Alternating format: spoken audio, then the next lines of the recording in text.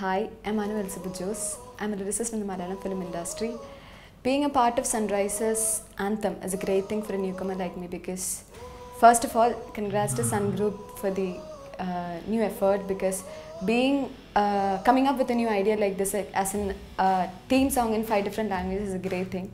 And again, being a part of Sunrisers theme song is a great thing because uh, we were here all throughout the day and we were discussing. The song just came up in this day, uh, the tune, the lyrics, and everything. It was made today itself. So it was great working with a lot of new people, uh, especially uh, G.V. Prakash because uh, I've been a fan of him since a long time. And uh, working with him is a great thing. And I got to meet a lot of musicians, a lot of lyricists who are like experienced over a long period of time. That is again a great thing for a newcomer like me. So all the best to Sunrisers. I'm sure you guys are gonna rock. Oh, oh, oh, oh, oh.